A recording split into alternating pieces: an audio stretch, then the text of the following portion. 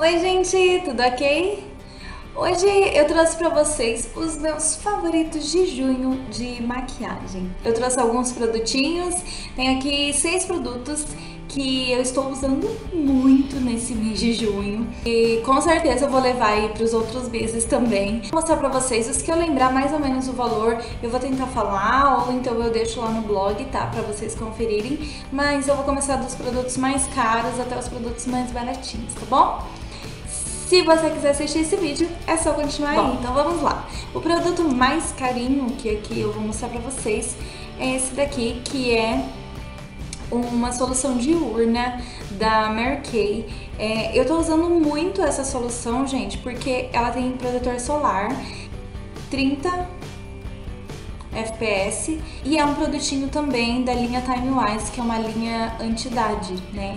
Então eu tô usando muito, muito, muito na pele do rosto Sempre que eu vou sair, eu passo esse produto, nunca deixo de passar e às vezes até carrego na bolsa se eu sei que vou ficar mais tempo na rua, né? E eu acho muito bom, né? E além de estar tá protegendo, ele vai estar tá também amenizando as linhas de expressões, o que é ótimo, né?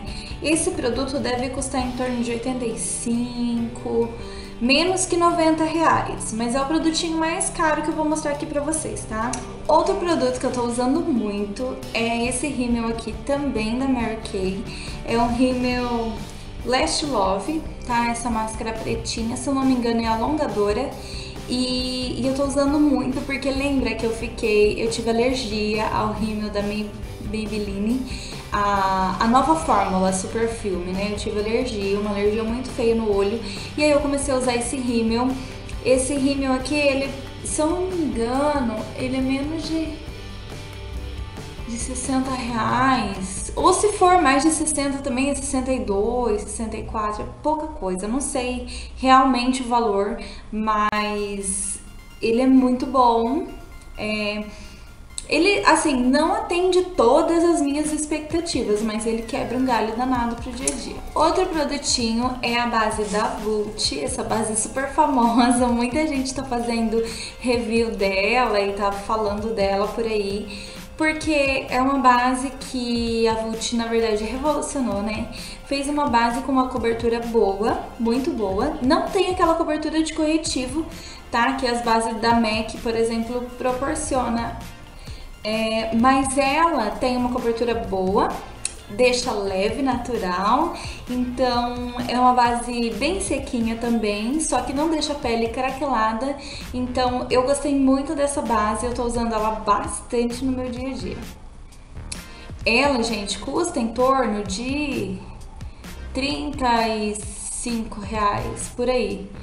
Mas eu tô falando assim, eu moro no interior do Paraná, né? Então eu tô falando mais ou menos aqui do que custa aqui, tá? É, na sua região pode ser que custa mais ou custa, custa até menos.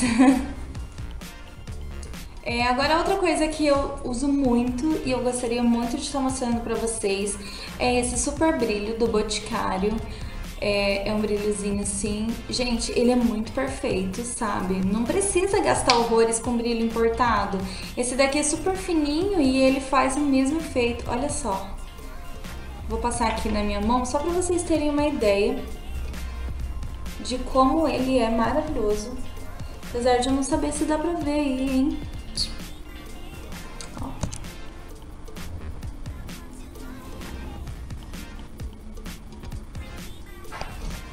Bom, se não deu pra ver é uma pena, porque ele é lindo, lindo, lindo. É o super brilho do Boticário. Eu acredito que ele tá menos que 30 reais, porque é da linha baratinha, da linha Capricho, cores do, do Boticário. Então é uma linha mais barata e super compensa, viu? Outra coisa é o Rimmel... Gente, esse não é o último, tá? É o corretivo da Tracta. É... Esse daqui é o... o, Claro 3. É, eu vou deixar minhas cores anotadas certinho, o nome mais certinho lá no blog, tá? É melhor do que eu ficar aqui falando, senão o vídeo vai ficar imenso. É, mas né? esse corretivo aqui, gente, ele é muito bom. Ele é leve, apesar de ter uma cobertura boa, ele é leve. É, olheiras, para quem tem olheiras arroxeadas, usa o corretivo amarelo antes, porque daí ele não vai cobrir, tá? Mas ele dá uma boa aliviada, então pro dia a dia eu acho ele assim muito, muito bom, excelente. E se você usar com uma base um pouquinho mais pesada, aí sim ele dá uma cobertura assim impecável, tá? Ele custou em torno de 18 reais, alguma coisa assim. Foi super baratinho. E agora, o mais baratinho, que foi esse batom da Ricoste. É, esse daqui é o Nick e eu estou amando esse batom. Ele é muito lindo, a cobertura da Ricoste é muito boa, me surpreendeu. Eu quase não comprei porque na verdade, eu já tinha provado outras coisas dessa marca, não tinha gostado, mas o batom líquido, ele é muito, muito bom.